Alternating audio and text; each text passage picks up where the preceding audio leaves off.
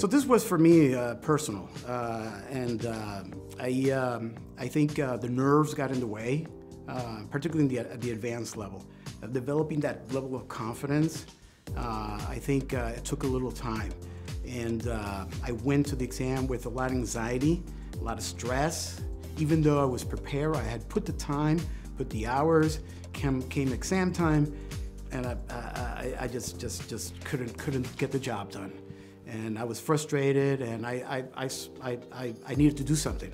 And I, un- it was then that I understood the, how important is the, the mental element to it, and the, uh, the and be able to, to be able to understand that and how to work with that. So I, I seeked out for help, and this is then I realized it's nothing new. I mean, athletes go through this. I saw a book uh, from, I read a book from uh, Tiger Woods, Think Like a Tiger, and that's what changed everything for me because he's describing his process in terms of how he approaches his, his, his, his matches, his game, and it's, it's all about mental preparation. And one of the things that really helped me was vis- visualization, be able to really see yourself in the room, right? And, and you're tasting, you have six wines in front of you, you have uh, a master sommeliers across the table, and you're in that room and, and you, you, you just visualize yourself in that process, smelling the wine, describing the wines, talking the wine seeing yourself relax, seeing yourself being successful, feeling good about yourself.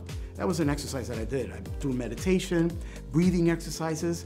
So when I sat when I sat for the exam or before I entered the room for service or theory, just breathe, you know, breathe that, bring that calmness and, and inhaling and exhaling.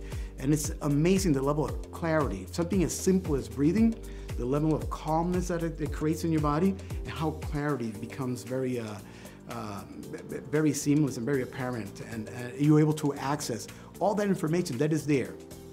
Just that the nerves gets in the way. So for me, that was uh, that was very critical and helped me tremendously. And the other thing I would say is uh, just take care of yourself from a health perspective. So uh, exercising, I think is really cool because it helps also deal with stress. So get in a, in a process walking, jogging, swimming, whatever, wherever is the case, but do something that, that it's not just study, study, study.